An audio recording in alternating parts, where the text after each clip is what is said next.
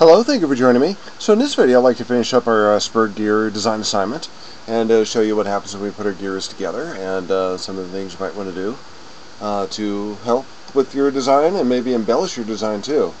So I took my spur gear, my pinion gear actually, and I uh, kind of embellished that a little bit. Put some ribs in there, uh, put a cavity inside of that, kind of sculpted it out a little bit. Put in the handle so we can actually turn it around. And you're welcome to do something very similar and that's uh, kind of what it looks like in the back. So yeah, let's go ahead and uh, start mating this.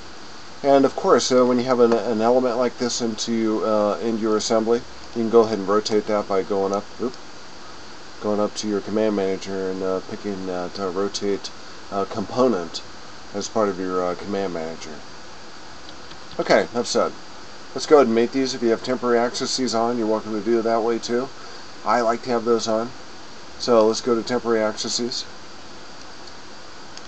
Let's click on one of the axes that defines uh, the center of our uh, gear.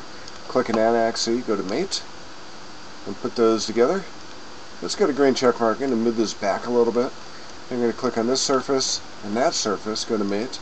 Let's put a distance mate on that, maybe um, 0.05 inches. How about 0.1 inches? And we're going to do the same thing with our gear wheel. So green check mark there. Got plenty of room. Insert component. Let's get our gear wheel in there. So I have a couple different uh, documents open. Let's go ahead and open up our gear wheel. Do the same thing. This time we can click on that surface here and that surface and mate those together. Green check mark. See if we can move that back a little bit. Click on the surface, that surface. Let's go to distance. This time we use our uh, mouse shortcuts. And we'll type in uh, point one just like we did before. The nice thing about the mouse shortcuts is you don't have to migrate, uh, do a whole lot of mouse travel. If you do this all day long, uh, a few seconds saved here and there in regard to mouse travel might add up to minutes an hour, and maybe hours uh, a week. So it's definitely a time saver. Okay, there we have it. I'm going to go ahead and turn off my sketches right now just to uh, make it look a little bit more uh, visible. So let's start off our sketches. And for some reason there's some transparency with our uh, gear wheel. Let's go ahead and rebuild this.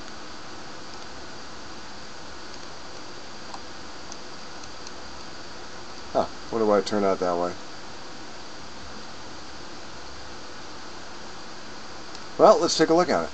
See if we can solve this. So it's transparent here too. Uh, is there a circular pattern? Ah, there it is. Looks like transparency was turned on there. Let's turn that back off, and uh, now we're right as rain. So we're going to do something very similar in the assembly. Everybody's got the ability, when you pull this out, it's called your display pane. You have the ability to hide elements, to uh, determine a display mode of each one of these features that you see down here. You can color those uh, components. You have a master color up here, but you can color each one of these uh, different uh, components down here too, a different color if you like. And just for the sake of demonstration, let's go ahead and make that red.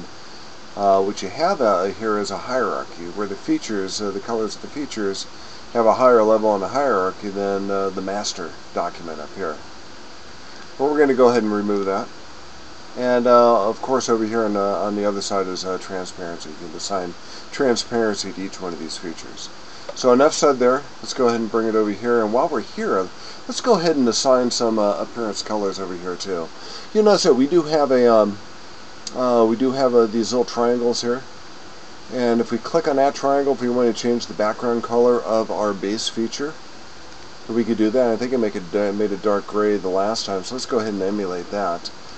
And this also has a certain hierarchy here too. Uh, the triangle on the bottom is, uh, is the color of the part. The triangle on the top is a color you're going to assign in the assembly.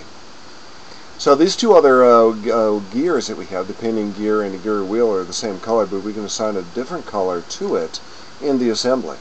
So let's make our uh, gear, our pinion gear, let's make that blue. And do the same thing over here, let's make our gear wheel kind of a light red color and green check mark. So now it uh, shows up pretty well with that dark background. I think we're in pretty good shape. Okay, one thing you want to keep a note, or keep in mind. I have my base feature here, And the only thing uh, with that base feature that everything else is your design, you want to make sure that the center to center distance on this is correct.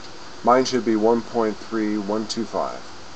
And I'm going to go ahead and stick with that. If yours doesn't quite work, and this is one of the indications, and it's one of the things you're going to be graded on, it's one third of your grade in regard to this assignment, that you need to be able to get motion physical through physical dynamics on your gear. But some gear uh, ratios, some gear uh, sets are a little bit tight, and you might have to increase this a little bit. Just increase that distance a little bit. And if you have to, make sure you do it by about a thousandth of a unit, and only a couple thousandths of a unit at that. So, that just indicates to me whether you built the gear correctly, the gear set correctly. If you have any problems with that, make sure you give me a call. Okay, let's go to physical dynamics. This is what I'm going to be doing.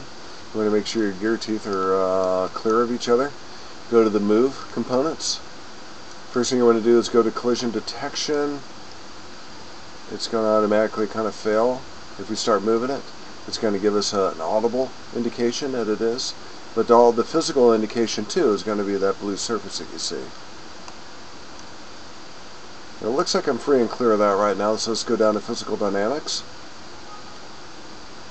And it's already colliding, so go back to physical or collision detection.